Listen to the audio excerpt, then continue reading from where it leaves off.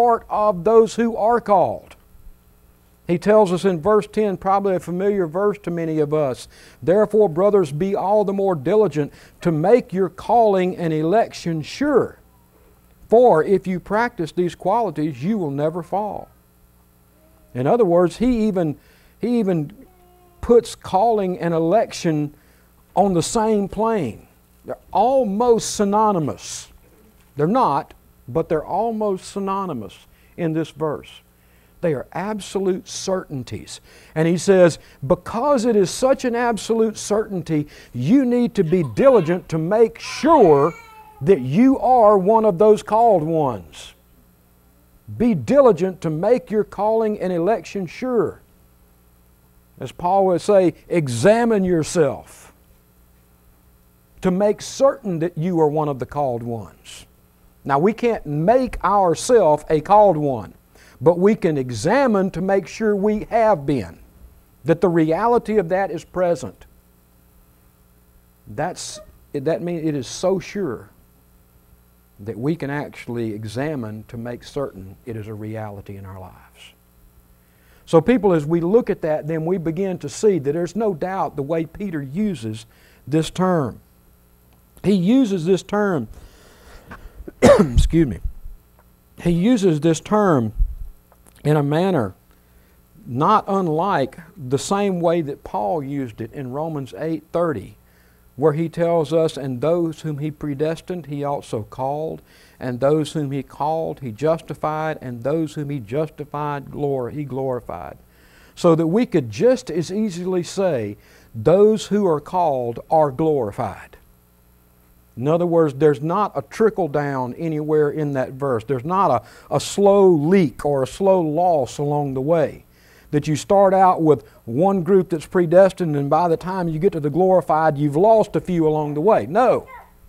The whole point of Romans 8 is to establish that the ones that are predestined are glorified. There's no loss. The called is absolute certainty it is effectual. So we could say then that those whom God has called are and will be blessed by God absolutely. And we receive God's blessing as kingdom children. This blessing that He has told us about in verse 9 is an absolute reality for the child of God. And I hope you'll understand why I'm taking the time to establish this once we get to looking back at why we are called to bless those that are still in this world, in this kingdom. Now, the next question is what is this blessing of God that we have received? What is Peter referring to? What is it that he has in mind? Well, thankfully, we have it very well established for it, and I'm just going to give you Peter's summation of this blessing in the very beginning of his book. We don't have time to run all the way back through the other chapters and pick out all the individual parts of the blessing. But notice again what he says in 1 Peter chapter 1 verses 3 through 5, "Blessed be the God and Father of our Lord Jesus Christ, according to his great mercy, he has caused us to be born again to a living hope through the resurrection of Jesus Christ from the dead, to an inheritance that is imperishable, undefiled, and unfading, kept in heaven for you, who by God's power are being guarded through faith for a salvation ready to be revealed in the last time. People, that's the blessing of God. The blessing of God is that so great a salvation that we have been blessed with. And all that it entails the privilege of knowing the King of the kingdom, the privilege of being a royal child, the privilege of being adopted into his royal family, the privilege of seeing and experiencing kingdom life, the privilege of knowing God intimately, and probably more importantly, Him knowing us. People, that's the blessing of God. I think it's necessary that we get a grasp of this blessing because today there are so many very poor, very weak ideas about what a blessing of God entails. You know, I, was listening to a, uh, a message the other day, uh, and uh, a pastor began to talk about the blessing of God in terms of being able to drive a Lexus. That, that, was, that was a blessing of God. You know, could drive a Lexus. A- and that every Christian ought to be rich. Abraham was rich, and we're children of Abraham. And uh, because we're children of Abraham, uh, you know, we ought to be rich too. It, it's all about the temporal things that are going to burn.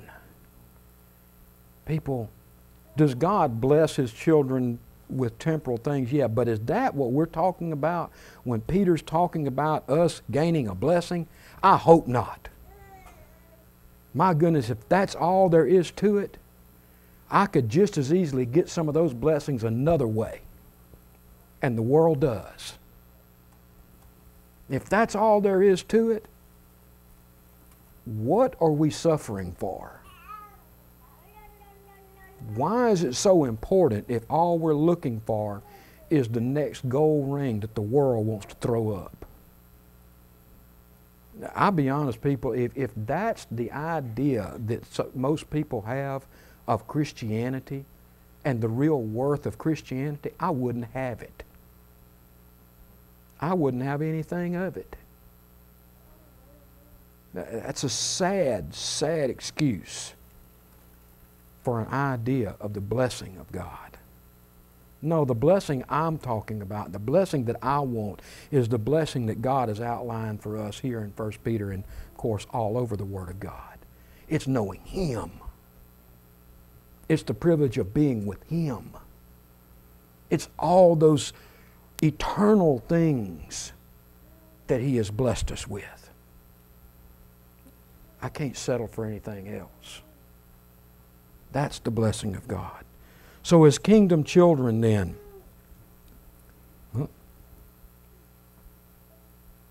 I have totally lost my place. The effectual blessing of God is all that He is and does for us in Christ Jesus, and is bestowed on all who are genuinely redeemed, which is itself part of the blessing. We've, we've got to, to get an understanding of the greatness of the blessing of God.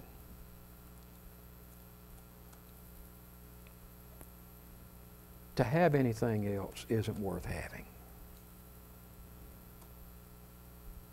So, if we understand then this blessing, if we know what this blessing is all about, now let's back up and begin to look at the calling, the, the, our responsibility while we are still here in this world. And I would tell you that Peter is telling us not only to remember the blessing, but to remember that because you are blessed, you are called to respond to others with a blessing. Now, here is where us understanding this issue of the effectual nature of this blessing is going to be vitally important for us. I think Peter gives us two reasons that tie his command together. The reason why he uses the fact that we are blessed to give us the reasoning for blessing those that are still of this kingdom and this world. The first reason is this we bless others at all times because God has effectually blessed us. Now, think about this in terms of the blessing, in terms of thinking of it in, as it being effectual in nature and not just potential.